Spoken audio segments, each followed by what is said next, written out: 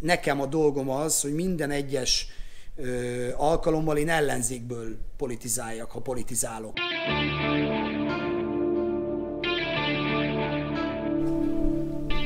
Én mikor 13 éves koromban először voltam nővel, Ja, nem ez? Ez nem, nem olyan dal lesz? Még a 70-es években a Kámbuctokban fűben ülve trapézgatjába virágos ingbe.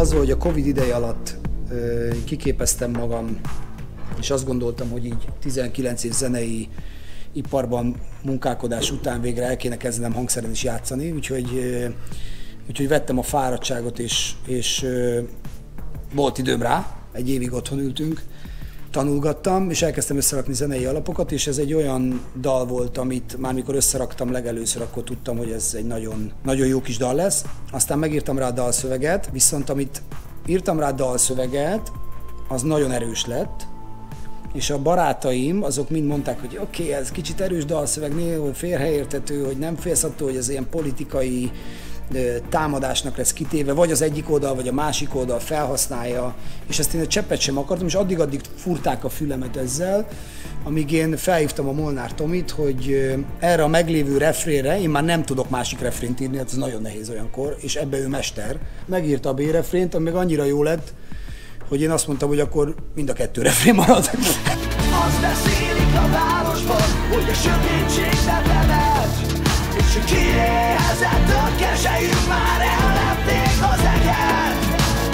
Ma elkezdtem gondolkozni magamba azon, hogy vajon egy olyan világban élek el, ahol a művészi szabadságomat kontrollálni kell, vagy hogy így egy picit cenzúrázni kell magam, hogy egyáltalán ha ezen gondolkozok, akkor baj van. És, és aztán Tomi meg meggyőzött végképp arról, hogy nem. Igen, mert amúgy cenzúrázzuk magunkat az élet meg annyi területén, és akkor úgy gondoltam, hogy talán a dalainkban nem kell és amit Peti átküldött dalt, olyan durván erős volt, hogy így lootbőrözés a nulladik perctől kezdve. Alapvetően jelesen nem is értettem, hogy mi a dolgom ezzel tulajdonképpen azt meg ugye végképp nem akartam volna, hogy ebből bármit elvegyünk, mert hogy így az első pillanattól kezdve hatásos volt, és akkor igen, született hozzá egy B, meg hát egy C refrén. B, meg egy C refrén, meg, meg, egy bridge is, igen. És akkor meg, meg egy bridge is, és, és hát előállt az a nagyon fura helyzet, hogy engem azért így párszor felkértek már dalszövegírónak, de olyan még nem volt, hogy egyszer csak így dalszövegíróból valahogy előadóvá léptem elő, hogy a Peti megosztotta velem a dalt, de úgy, hogy átküldte az összes sávot, külön-külön. És mondta, hogy az első munkái egyike, amit ő rakott össze a gép előtt, így hirtelen ilyen dalszövegíró és félig producere is lettem az egész. Sound designer, és minden más egyszerre megérkezett Tomi. Úgyhogy végül nem lett képzeld el producere ennek az egész dalnak, mert Majoros Péter és Molnár Tamás producelte, akik egyébként a szerzői is ennek. Szerintem az egyik legerősebb dal lett Petinek, és hát az, hogy benne lehetek, az még ilyen wow, tudod. Így meg aztán végképp a legerősebb.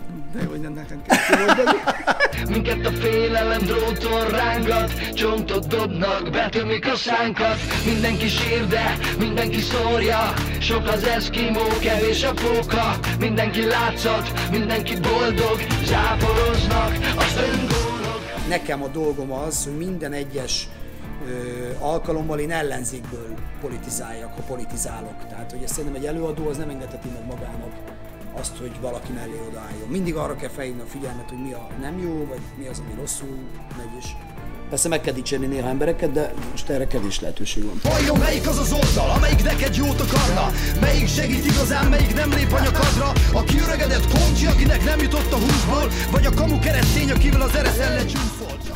Nagyjából azt érzem egyébként, hogy ez egy ilyen klasszikus értelemben vett reprok házasság. Ilyet már Igen. egyébként azért hallottunk a, a pop történelemben valaha. Szerintem ezek a műfajok alapvetően arról szólnak, hogy kritikusak mind a kettő. Vagy Igen. arról kéne, hogy szóljon. De szerintem nagyon régóta már nem szól erről.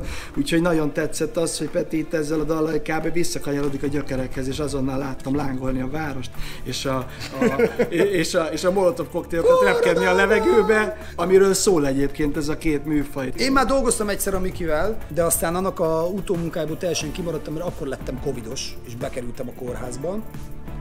Persze nyilván ezt csak pénzért mentem be, és 50 ezer forintot kaptam érte naponta. És egy gyík emberrel aludtam végig.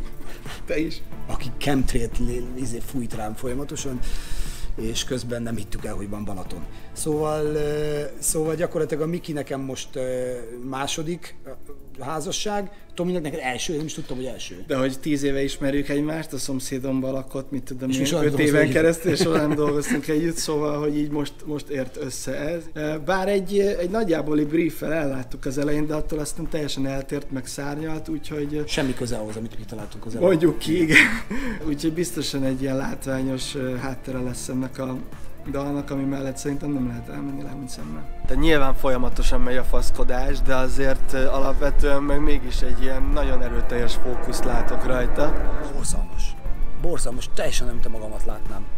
Tehát el nem tudom képzelni azt, mikor a Gresicki mögé beülünk a, a stúdióba, és két oldalról kiabáljuk neki a fülébe, sztereóba, hogy mit hogy csináljon, változtasson, ide tegyél még cint, húz lejjebb az effekted, ott a basszus nem jó, ha ott kezdődik, tedd a és a gitár nem szól, tegyél delay rá, reverbet vedd le, ez, ez elképesztő, hogy két ilyen energiájú csávó egy helyen tartózkodik.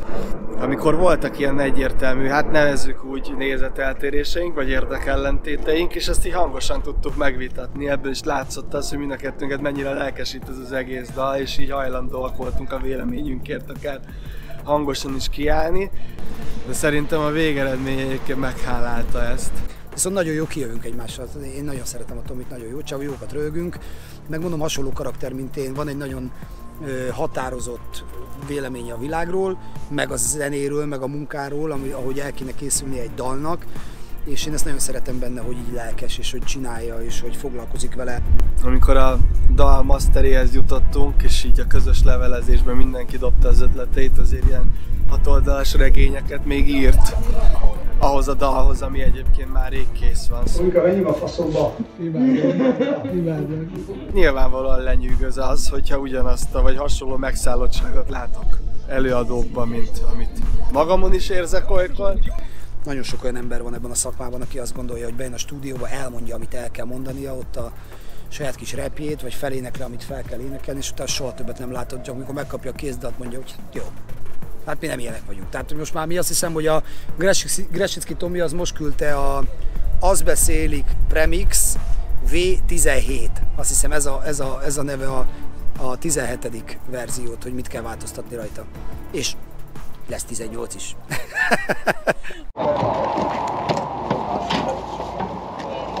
Mi csinál itt? Figyelj, és tessék! Menjen arrébb. Le van zárva, rendészeti terület.